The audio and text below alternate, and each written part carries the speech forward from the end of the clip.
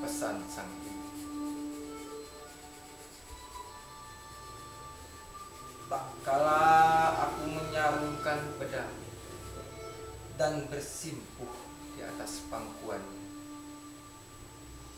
Tertumpah rasa kerinduanku pada sang ibu. Tangannya yang halus mulus. Bergetarlah seluruh jiwa ragaku. Musnahlah seluruh api semangat juangku.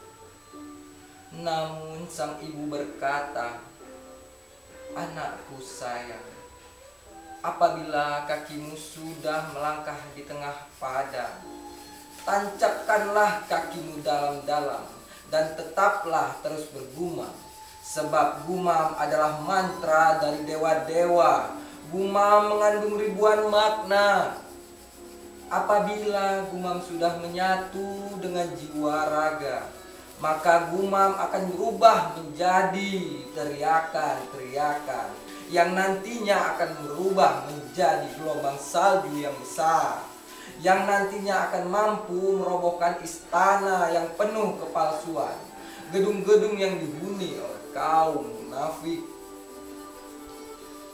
tatanan negeri ini sudah hancur anakku dihancurkan oleh sang penguasa negeri ini mereka hanya bisa bersolek di depan kaca, tapi membiarkan punggungnya penuh noda dan penuh lendir hitam yang baunya ke mana-mana.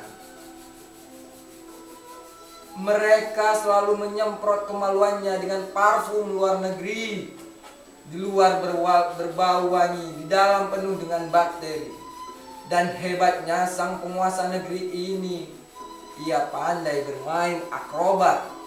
Tubuhnya mampu dilipat-lipat yang akhirnya pantat dan kemaluannya sendiri mampu dijilat-jilat. Anakku, apabila pedang sudah dicabut, janganlah suruh, janganlah bicara soal menang dan kalah. Sebab menang dan kalah hanyalah mimpi-mimpi. Mimpi-mimpi muncul dari sebuah keinginan Keinginan hanyalah sebuah hayalan yang mampu melahirkan harta dan kekuasaan. Harta dan kekuasaan hanyalah balon-balon sabun yang terbang di udara. Anakku, asahlah pedangmu. Ajaklah mereka bertarung di tengah padang. Lalu tusukkan pedangmu di tengah-tengah selangkangan mereka.